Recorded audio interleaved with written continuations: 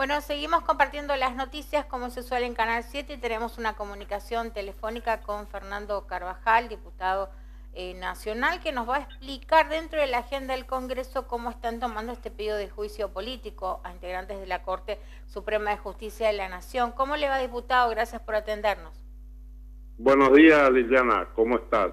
Sí, verdaderamente sorprendido por, por esta decisión del gobierno en medio de una crisis económica profunda que ellos mismos han causado, con casi un 100% de inflación durante el año pasado, con una sequía que está asolando a todo el país, que está causando enormes daños a la producción, cuyas consecuencias económicas además van a ser verdaderamente graves, y este gobierno que está absolutamente desconectado de la realidad, con este presidente eh, verdaderamente que está de visita en, la residencia de Olivos con absolutamente una incapacidad de gobernar, no tiene mejor idea que convocar al Congreso para este verdadero circo mediático que quieren hacer, que tiene que ver con el pedido de juicio político a la Corte Suprema de Justicia de la Nación.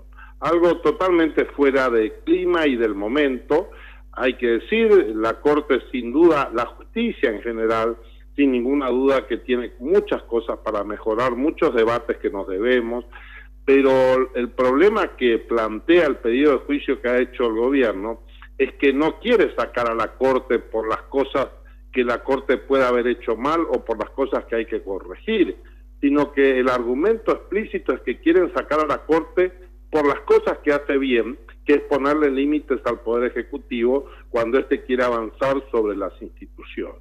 Entonces, la verdad que es un clima de mucha tensión social, de mucha tensión política, y este gobierno, en vez de intentar gobernar en beneficio de los argentinos, la única preocupación que tiene es ver cómo destroza las instituciones.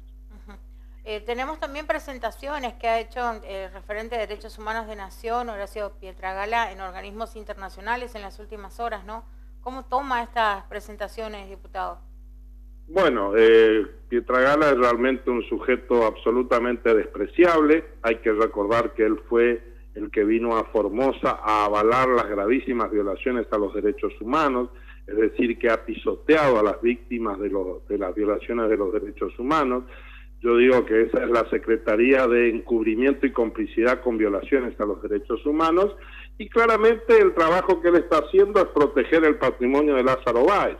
La única pretensión que tiene eh, Pietragala es lograr que los millones de dólares que Lázaro Báez eh, se robó durante la gestión, que José López, su otro amigo, se afanaron durante la gestión del kirchnerismo, eh, quede en su patrimonio. No sé si esto lo hace gratis, cobra algún porcentaje o cuál es el motivo por el cual está tan preocupado, porque la verdad es que toda esta presentación realizada denunciando lawfare eh, lo único que quiere impedir, reitero, es que Lázaro Báez y los demás cómplices y condenados de corrupción tengan que devolver la plata que se han afanado.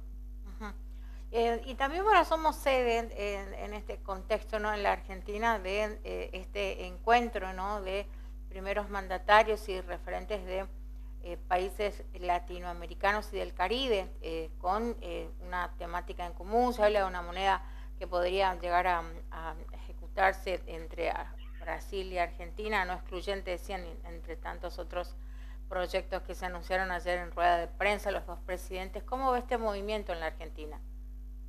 A ver, respecto a la presidencia, a la presencia del presidente Lula, me parece un elemento favorable. Lula es un hombre que acaba de ser electo presidente de nuestro principal socio comercial, por lo cual la verdad que es saludable para el país que se avance con una conversación más. ¿Cómo se advierte de parte del gobierno, del presidente y del canciller gestos de, de obsecuencia y de sumisión que la verdad es que preocupan, porque parece que, la cuestión ideológica eh, los hace inclinar servilmente ante quien finalmente es el mandatario de un socio, pero de un país extranjero, ¿no? Es decir, uno lo escucha hablar a Alberto Fernández y parece que está hablando de un dios y es solamente el presidente de otro país con el cual obviamente tenemos que tener las mejores relaciones e inclusive profundizar los vínculos, pero desde una posición de respeto y no de obsecuencia servil, que es la que tiene habitualmente el presidente frente a cualquier otro poderoso, ¿no? Se inclina ante Lula y se inclina ante la vicepresidenta de la Nación. Eh, así que esto, digo, desde esa perspectiva, eh, hay que verlo desde un punto de vista como algo saludable en cuanto implica mejorar los vínculos con Brasil. Respecto a la presencia de los dictadores, lo que hay que festejar es que eh, Maduro le tuvo miedo a la justicia argentina. Por eso Maduro no vino a la Argentina, porque sabe que pese a todos los intentos del kirchnerismo y de Alberto Fernández y de Gildo Infram de doblarle eh, la, la, la cerviz a, la justicia argentina, aún hay jueces independientes en este país. Aún hay jueces en Berlín, como, como puse en el libro que, que, con, que relaté lo que pasó en Formosa. Es decir, aún hay jueces independientes y Maduro es un delincuente internacional sobre el cual pesan pedidos de captura y sabía que venir a la Argentina, donde hay una justicia independiente, era correr el riesgo de quedar detenido. Eh, por eso no viene Maduro, por eso, eh, por suerte, nos salvamos la, de la presencia payasesca, porque hay que decir que Maduro es un dictador, pero además es una figura payasesca que muestra la decadencia del régimen venezolano. Recordemos, es un hombre que habla con pajaritos, eh, que incapaz de eh, hilvanar un discurso coherente, ¿no? Entonces, eh, por suerte estos personajes siniestros no han venido. Hay otros que yo honestamente, en el caso de Nicaragua, lo preocupante es que el gobierno se siente cómodo con estos personajes, una cosa es que en el marco de relaciones internacionales se lo reciba y otra es que se promueva estas visitas que muestra el alineamiento claramente que tiene este gobierno con el autoritarismo y el populismo fascista que eh, representan estos sectores. Claro.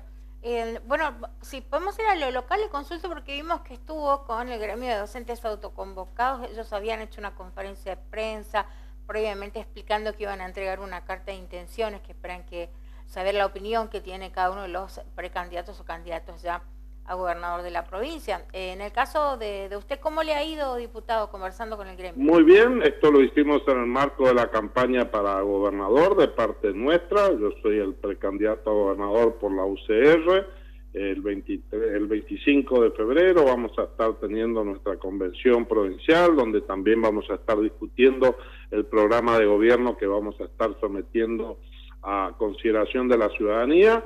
Y así como, bueno, estoy visitando el interior, la semana pasada estuve en Palo Santo y en Ibarreta, este, también acá en Capital me estoy reuniendo con distintos sectores sociales y políticos, en este caso muy gentilmente el gremio de de los autoconvocados nos acercó una carta con una serie de planteamientos, la mayoría de los cuales por supuesto coincidimos. la cuestión básica eh, que es la gran deuda pendiente es el diálogo, sí, que es el reclamo de voz docente y que nosotros estamos de acuerdo, diálogo que es muy concreto. Nosotros cuando ganemos el gobierno vamos a convocar a paritarias, a los gremios, nos vamos a sentar en una mesa de discusión y vamos a discutir los salarios y las condiciones de trabajo.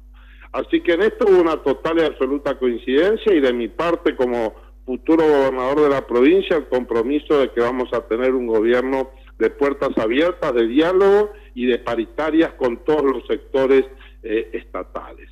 Eh, por supuesto que después hay una serie de cuestiones más puntuales que yo me comprometí a responder por escrito y, me interioricé de muchos problemas muy graves que están pasando los docentes.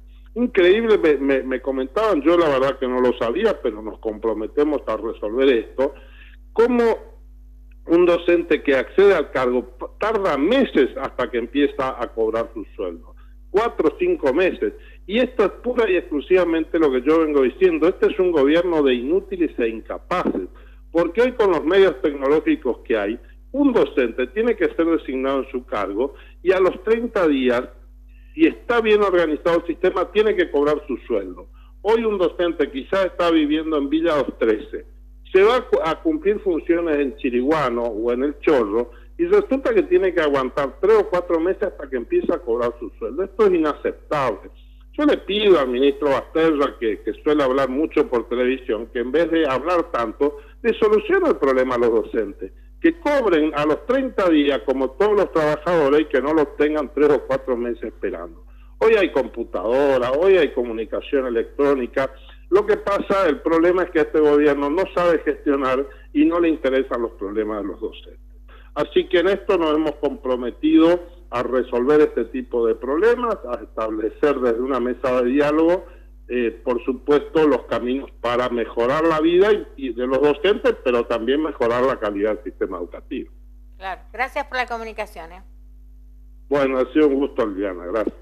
Bueno, nos explicaba el diputado nacional eh, de qué manera bueno se va reorganizando la agenda en el Congreso de la Nación con bueno cuestiones que parece no van a ser avaladas por el sector, pero que no dejan de eh, hablarse de esta cuestión porque han traído bastante polémica ya cuando se generaron, que fue de un tiempo a esta parte, no pasó mucho.